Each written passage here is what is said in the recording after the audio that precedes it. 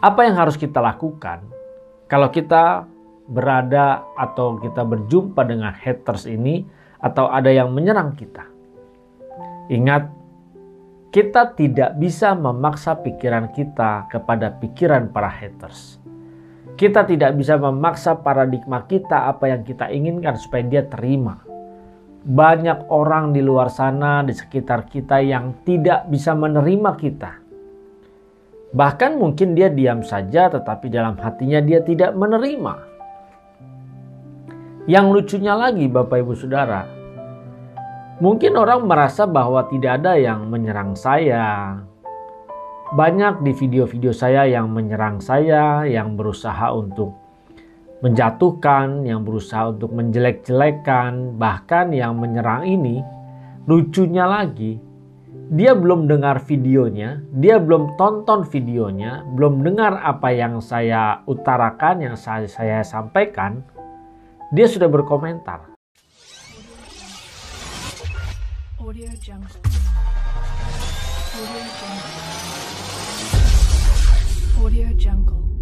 Shalom Bapak Ibu Saudara yang dikasihi oleh Tuhan di mana pun berada saat ini. Salam transformasi. Kita berjumpa kembali di dalam channel CPS Television bersama dengan saya Buyung Kosa Putra.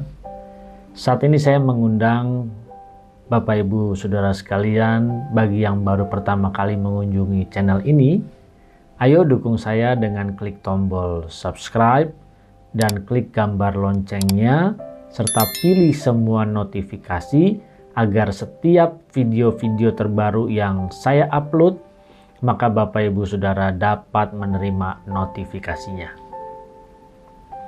Di dalam kehidupan ini, di sekitar kita sehari-hari pasti kita sering berjumpa dengan yang namanya haters, dengan yang namanya lovers. Kita tidak tahu orang-orang yang ada di sekitar kita apakah dia sebagai pengagum kita, dekat dengan kita, sebagai lovers, atau sebagai haters, orang yang tidak suka dengan kita. Terkadang ketika ada haters, hidup kita merasa terganggu sekali. Kita kadang marah, kita kadang kesel, kita kadang kecewa, ketemu dengan orang-orang seperti ini Apalagi orang-orang yang seperti ini terkadang dia hanya mengumbar emosinya, berusaha menyudutkan kita, menyalahkan kita, dan merasa dirinya benar. Ini tidak bisa kita pungkiri Bapak Ibu Saudara, dan ini memang ada di sekitar kita. Tetapi perlu kita ingat kita tidak bisa membalas haters ini dengan haters juga. Kita tidak bisa membalas yang jahat dengan hal yang jahat juga.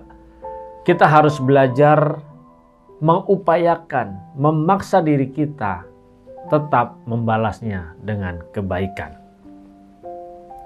Apa yang harus kita lakukan kalau kita berada atau kita berjumpa dengan haters ini atau ada yang menyerang kita? Ingat, kita tidak bisa memaksa pikiran kita kepada pikiran para haters. Kita tidak bisa memaksa paradigma kita apa yang kita inginkan supaya dia terima banyak orang di luar sana, di sekitar kita yang tidak bisa menerima kita. Bahkan mungkin dia diam saja, tetapi dalam hatinya dia tidak menerima. Yang lucunya lagi, Bapak Ibu Saudara, mungkin orang merasa bahwa tidak ada yang menyerang saya. Banyak di video-video saya yang menyerang saya, yang berusaha untuk menjatuhkan, yang berusaha untuk menjelek-jelekan, bahkan yang menyerang ini, lucunya lagi, dia belum dengar videonya, dia belum tonton videonya, belum dengar apa yang saya utarakan, yang saya, saya sampaikan, dia sudah berkomentar. Nah ini lucu ya. Belum menonton, hanya baru membaca judul atau description, lalu sudah berani memberikan komentar. Dia tidak paham apa yang dibahas. Dia tidak paham apa yang diutarakan, yang dijelaskan, tetapi sudah memberikan komentar. Padahal komentar yang dia berikan komentarnya itu sebenarnya tidak perlu sampai diutarakan kalau dia menonton videonya atau dia mendengarkannya dengan hikmat dan seksama. Terbukti orang-orang seperti ini yang mementingkan dirinya sendiri, merasa ego, yang merasa benar, tetapi dia menunjukkan kesalahannya. Kalau kita berjumpa dengan orang-orang seperti ini, bagaimana? Bapak Ibu, kalau kita berjumpa dengan orang-orang seperti ini, kita tidak perlu ambil pusing. Cukuplah kita tersenyum. Kenapa? Walaupun mungkin kita kesal, walaupun kita mungkin marah, kecewa, kita harus berpikir bahwa Tuhan izinkan hal ini terjadi menimpa hidup kita atau mendera hidup kita. Kenapa? Karena Tuhan menginginkan supaya kita belajar untuk berubah, belajar untuk ikhlas, belajar untuk merubah karakter kita dari waktu demi waktu. Ketika kita menghadapi haters, ya hadapilah dengan tersenyum. Karena kita tidak bisa menghindari haters. Bahkan sebagai seorang YouTubers pun dia membutuhkan adanya haters.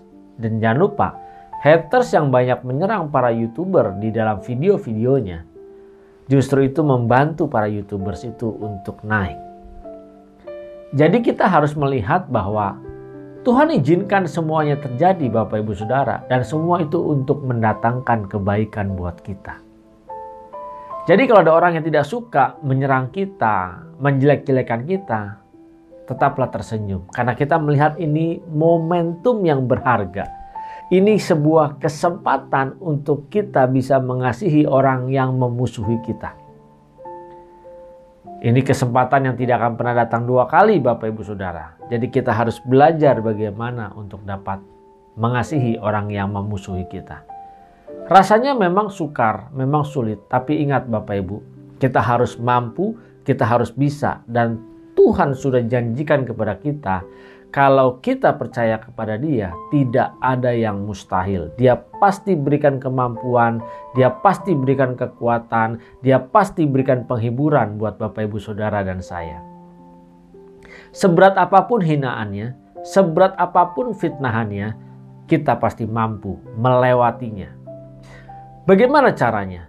Ketika ada orang yang menyerang kita, belajarlah untuk tetap tenang. Jangan cepat kita mengeluarkan kata-kata, jangan cepat juga kita memaki, jangan cepat juga kita merespon. Kita harus belajar untuk diam dan berdoa. Kita harus belajar untuk menenangkan diri kita. Ketika kita tidak bisa menenangkan diri kita, maka kita akan sembarangan berbicara kita akan sembarangan memberikan reaksi dan respon. Jadi kita harus berhati-hati Bapak Ibu. Kalau ada hater seperti ini, lebih baik kita diam, tersenyum, dan berdoa kepada Tuhan. Mohon kekuatan kepada Tuhan. Mohon kekuatan dan penghiburan darinya. Tuhan pasti berikan kekuatan, Tuhan pasti berikan penghiburan buat kita.